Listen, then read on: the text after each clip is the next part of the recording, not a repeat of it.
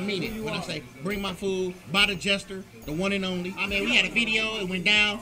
I can honestly say at 9.25, I'm officially full.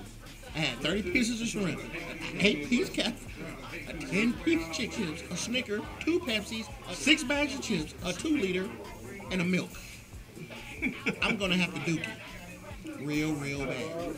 No, I'm not gonna have to dookie. I'm gonna have to fish. There's a difference. The only thing holding this dookie in my booty now is my drawers.